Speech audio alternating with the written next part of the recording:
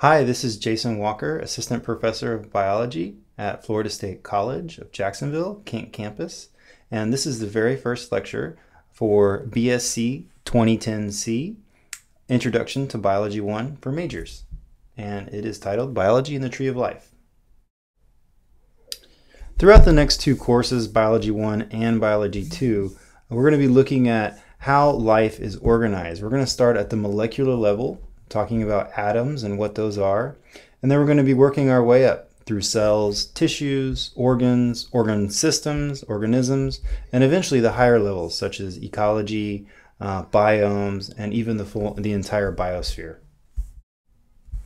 So what does it mean to be alive? We're going to talk about six characteristics of life that all have to be present in order for something to be considered alive. First, life must have order. All of life emerged from complex organization of interacting molecules.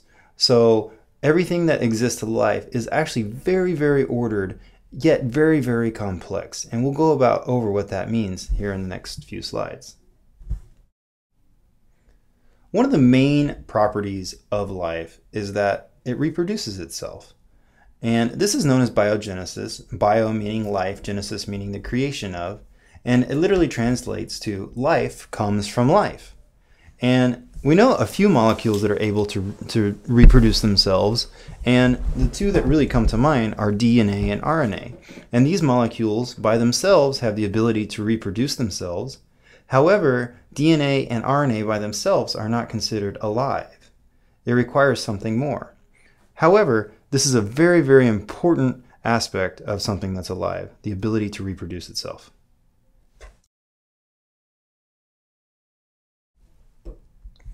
Another property of life is that it grows and develops. Um, and by growth, I mean simply gaining mass. Now, we know things that are not necessarily alive have the ability to grow. Take the example of uh, stalactites and stalagmites within a cave. Water drips down through the limestone, and over time, um, they can gain mass, uh, but for the most part, they don't really develop. They don't change form. And really, development is a very key property of life.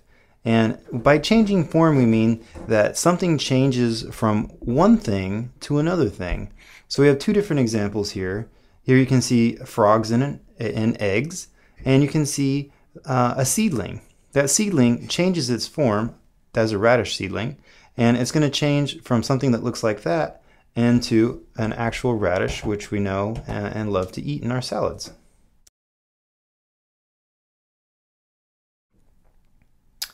Another important property of life is that all organisms use energy in order to go through their life processes of growth, development, and reproduction.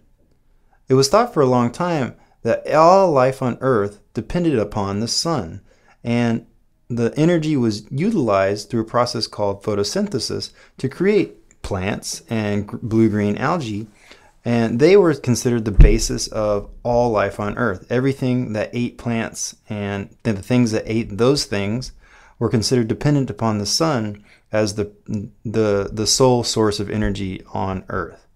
Well, as we started to look at the oceans and look deep in the oceans, we began to notice that there, there were these vents where there was plethora of organisms that were present in the complete absence of the sun. And they weren't being fed by organisms from the top. They were actually being fed by hydrogen sulfide gas um, that was coming up from these vents. And so we now know that there's two different mechanisms for energy um, that that organisms use in order to grow and reproduce, either chemosynthesis or from the sun. Another property of life is that Life responds to the environment in a process known as stimulus response. And here we have two examples of stimulus response that happens in different organisms. Um, stimulus in the Venus flytrap is caused by these trigger hairs. And it's kind of an interesting story. You can't just flick one trigger hair and cause a Venus flytrap to close. It requires a, uh, either one trigger hair to be hit twice or two different trigger hairs to be hit um, simultaneously in order for the Venus flytrap to close. However, it's not just um, stimulus response in plants, there's also stimulus response in animals as well. And here we have an Arctic fox, and it is either um, brown in the summer or white in the winter. And the reason is for camouflage. And so this Arctic fox is responding to its stimulus, it's responding to its environment, and it produces different colored fur based on the, type of season. So we know that life has a response to its environment. Another property of life is homeostasis. Homeo means same, and stasis means equilibrium. So homeostasis is defined as the regulatory mechanisms that maintain an organism's internal environment even though its external environment may fluctuate. What this means is, is that no matter what the external environment does, the internal environment of, of the organism has the ability to maintain a, a stable internal structure. Warm blooded animals are a great example of homeostasis. Warm blooded animals have the ability to maintain their temperature no matter what the temperature is outside. In a dog, if it's hot outside, they can't sweat, but they can pant. And so they bring in cool air through their lungs and it's transferred to their body. And the faster that they breathe, the more cool air comes in and cools their body. In a jackrabbit, they have large ears not so that they can hear, but so that they can actually cool themselves. By having the large surface area, uh, they are able to transfer heat out, out of their ears and it cools off their body much faster. They have the ability basically to get rid of heat from their bodies through these large ears. And perhaps the final property of life is that it is evolutionarily adapted to its environment. What this means is life evolves as a result from interactions between organisms and their environment. In this picture right here, what do you see? You see a tree, a stick. There's actually a, a walking stick on there, which is an insect. And the walking stick has evolved to mimic what a tree looks like in order to be protected from predators. So this is an example of an organism being adapted to its environment. Okay, so now we're going to go over some of the basics of science in general. So what is a theory? And what is a hypothesis? A theory is an explanation for a general phenomenon, whereas a hypothesis is a proposed explanation for a very specific phenomenon. Components of both of these are pattern and process. Pattern is something that occurs, and a process is something that's responsible for creating that pattern. There are two main theories in biology the cell theory and the theory of evolution by natural selection, which we'll discuss here in the next few slides. So, the cell theory of life has three main components. First, all life is made of cells. In order for something to be alive, the theory is that it has to be incorporated within cells.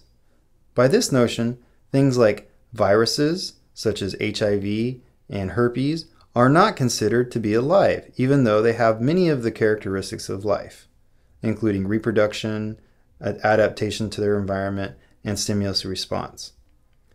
Cells are the basic unit of life. They're capable of performing all the activities of life, all the properties of life that we just discussed, and the third component of the cell theory is that all cells have come from other cells. The second theory in biology is the theory of evolution. And this is the idea that all species share common ancestry. And the process by which we have come to speciate in order to get new species is descent with modification. We have descended from ancestral species in which the characteristics of those species have changed through time. Now, this came to be known as evolution. And evolution as a pattern is nothing more than the change in characteristics of population through time. And the process with which we, we think most evolution occurs is via natural selection. Charles Darwin coined this term, um, and he coined it from working with uh, um, pigeons and horses which he was actually artificially selecting, and people had been artificially selecting for a long time, but he came to notice within population, individual characteristics vary. And he came to believe that some of those variable, variable characteristics enhances the potential for reproducing of certain individuals within a population more so than other, and that those individuals within a population that are more able to reproduce are going to have more offspring in the future and therefore lead the way of evolution. Science is a hypothetical deductive process. What this means is that science stems from hypotheses. And this is where a scientist will have a specific question and he'll propose a possible answer. Steps to producing a good hypothesis is that it must be stated precisely. It cannot be vague and it has to be testable. And in science, we design experiments that are specifically able to test the predictions of a hypothesis. And it's deductive. And what that means is from general ideas, we're able to make very specific predictions. And those typically take, take the case as if then statements. So if you want to take the idea of coffee, if I drink a lot of coffee in the morning, then I'll be really, really, really excited. So that's a good example of a, a deductive idea. And from that, we can actually test it. In other words, it's not inductive. We can't make specific circumstances into general predictions. We take general predictions and then predict specific circumstances. Now there's a few more steps to this process, so we're going to take this uh, all the way through. So a question might be, gosh, why am I always so bloody tired in the morning? Well, you can create a if-then statement as, as your hypothesis. Well, perhaps if I quit coffee, then I'll be more alert. Now, is that a specific testable hypothesis? Hmm, let's see. Well, I'm going to create an experimental design. All right, I'm going to quit coffee. You're going to do the experiment. You quit coffee. And then you have to do data analysis. Somehow you have to measure alertness before and after. And preferably, it would be best to measure it with numbers because with numbers we can do statistics. And with statistics, we can actually test whether something is truly different from something else. And then we're going to we're to graph the results. So you're going to graph alertness, and then you're going to have a conclusion. You're either going to reject or you're going to fail to reject your hypothesis. And here's a really important thing about science. It has to be repeatable. A lot of things can happen just once, and um, it's not exactly true. It can just happen by circumstance or coincidence. And for science to really be accepted by the scientific community, it has to be repeated and repeatable. The other really important thing about science is that we have control and experimental groups. Now, whenever we create an experiment, we want to change one thing at a time. And the thing that we're changing are grouped into experimental groups. The thing that where nothing changes is known as the control group. So what would be the experimental and control variables in this example? In this experiment, we compare the effects of varying sugar concentrations in the rates of diabetes in mice. Now, we can go back to the dependent and independent variable and say, what depends on what? Blank depends on blank. What do you think? Well, if you thought that diabetes in mice depends on sugar concentration, you were right. So therefore, the diabetes in mice is the dependent variable and the independent variable is the sugar concentrations. So if we had our x and y graph, the x-axis would be sugar concentrations and the y-axis would be diabetes in mice. So the thing that we change in the different groups is always the independent variable. So in this case, what changes? Is it do we change the diabetes in mice or do we change the sugar concentrations? So if you said sugar concentrations, you were right. So in this particular experiment, what you would expect is that there will be a control group with no sugar at all added within the um, within that group, and then you might have several different groups with varying amounts of sugar concentrations. And then from there, we would measure the rate of diabetes within those mice. All right, there are a lot of really bad experiments out there, but a well-designed experiment really isn't very difficult to create.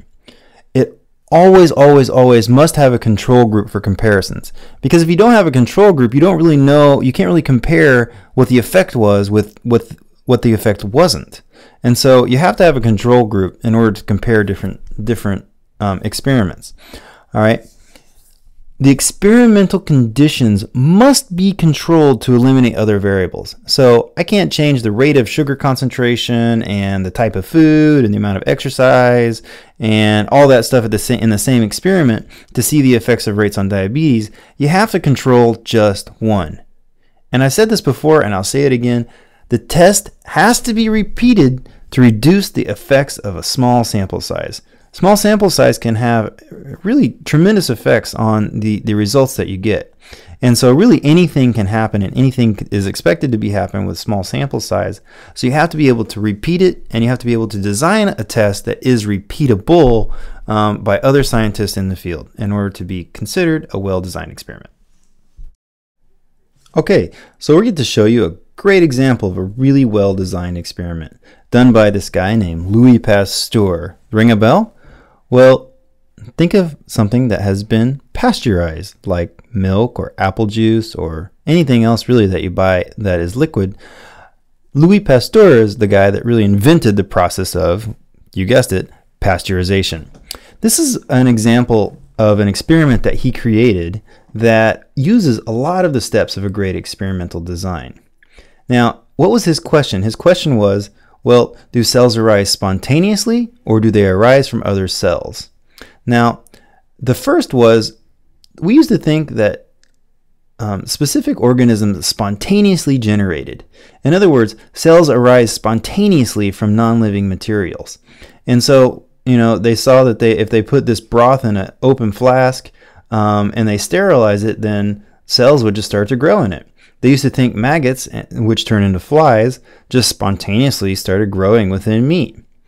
And he wasn't so sure about this. He came up with this idea that all cells come from cells hypothesis, in which he thought that cells were only produced from other pre-existing cells. So he has two different groups here. He has a control, the normal group, and then the experimental group. In the control group, it's as it was. The thing was done as it was. So he had some cells which started um, started in a broth in a flask. He sterilized it, and then lo and behold, cells started to grow in that tank. So the hypothesis or the, the prediction or the um, explanation for that was, well, I think cells might actually be coming in through the hole. So he devised, he designed this uh, this swan-necked flask. He sterilized it and he put uh, a block between um, between the out, outer end and the inner, and cells developed within the the neck of the swan flask, but nothing ever came to the inside.